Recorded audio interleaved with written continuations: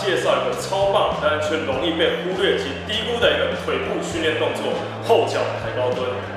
前阵子因为杠铃的盛行，大家来健身房训练臀腿的时候，多半都是拿着杠做深蹲、臀推，或是去做腿推肌，好像练腿就是应该做这些动作一样。但是大家仔细想想，会发现其实这些训练动作都是双侧、双腿水平一起发力推蹬。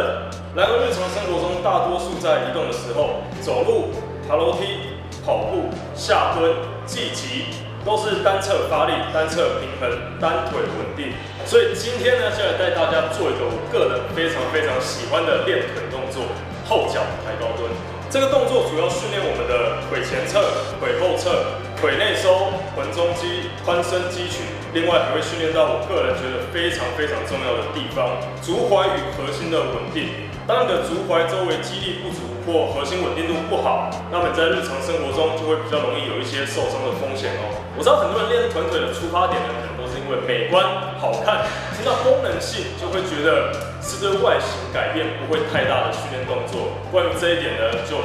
大错特错。事实上，并不会因为后脚抬高蹲是一个极具功能性的动作，对于肌肥的效果就没那么好。它同样能锻炼到我们的臀腿肌群，进而让我们的身形变得更加苗条。随着负重越重，训练强度越高，当然你的臀腿也就会更加壮硕。随着身高的不同，我们可以使用 bench 跳箱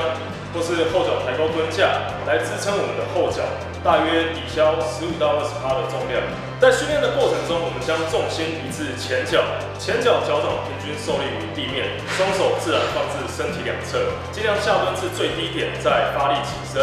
我们可以找一块垫子垫在后脚膝盖的位置，每次下蹲时都让后脚膝盖触碰软垫，再发力起身，保持每一下训练动作的品质。相较于背蹲举。后脚抬高蹲可以让脊柱，尤其是压力最大的下背，在负担较小的情况下锻炼我们的下肢。另外，如果你是脚踝活动度不好，在做深蹲时无法下蹲至低点，或是上肢活动度受限，没有办法做背杠深蹲的人，那么后脚抬高蹲就是最适合你的下肢训练动作了。开始训练的时候呢，首先我们先找到适合自己的高度，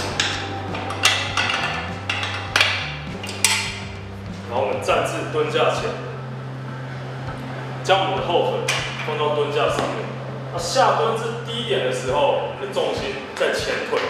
前脚脚掌平均受力于地面，然后我们注意看一下膝盖跟脚尖的方向要朝向前方。不同于深蹲的是，在做后脚抬高蹲的时候，前脚的膝盖就真的尽量不要超过脚尖，尽可能的下蹲至最低点，活动范围越长，对于肌群的刺激以及身体平衡的需求就越高。刚开始建议大家先用徒手不。负重来做训练，过程中必须保持核心的缩紧及挺胸，膝盖以及脚尖的方向朝向正前方。很多人在训练后脚抬高蹲是，因为重心不稳会产生拱背，我们要尽量避免这种情况发生。随着建立起良好的动作模式以及肌力的成长，我们就可以开始慢慢的增加负重训练，强度跟着慢慢的提升之后，你会发现你的生活得到了前所未有的境界。爬楼梯、捡东西、负重行走。对你来说都变得轻而易举，而且门槛非常低。无论你在家、在健身房、附近的公园，都可以找地方训练哦。好，那今天的影片就先到这边。有任何问题，欢迎在影片下方留言，也别忘了开启小铃铛，跟按下订阅。我们之间的盖伊，下次见，拜拜。